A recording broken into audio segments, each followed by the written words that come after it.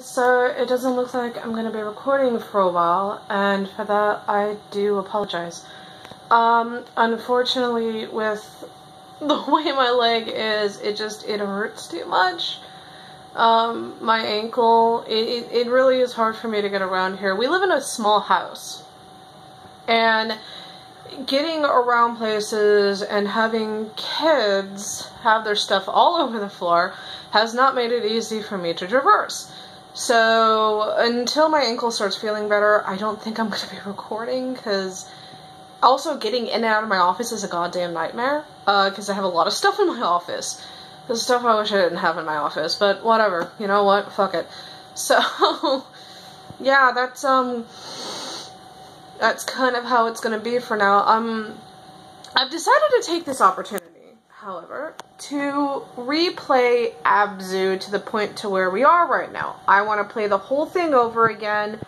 I want to get all of the secret stuff. I want to, you know, I want to find all the shells. I want to make sure that I get all of the, um, the little plumes where I can release more animals into the wild.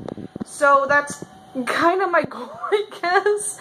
So I'm going to, instead of just being the asshole that I am and being so ADD oriented with it, I'm going to try and play it correctly.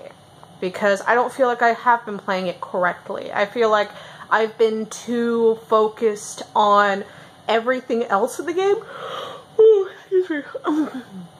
And just trying to get from point A to point B instead of seriously looking around and making sure that I'm finding everything. Because I, I know full well, and we've seen it, especially with that big wall that was, um, that had all the shells that you're supposed to be able to find, that I haven't found everything. So I, I want to make sure and I need to make sure that I do all that stuff. For me, I don't know what it is. I just really want to complete this game the right way and I don't feel like I have completed this game the right way. So I'm gonna go back. I'm gonna play everything up to that point where we stopped um, in the last episode, in yesterday's episode, which I actually, when we were waiting for my daughter to get home so that we can go to the hospital, um, I was uploading in a lot of pain and I was trying to type and say ow at the same time and not type ow.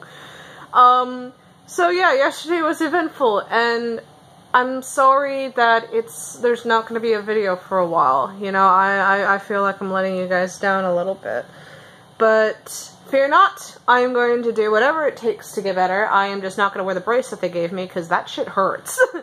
I don't know what the hell kind of a brace they gave me. It feels like a torture device. I might take a picture of it and post it on my uh, my Instagram and my in my um, Twitter later on today because holy shit, it just doesn't feel right.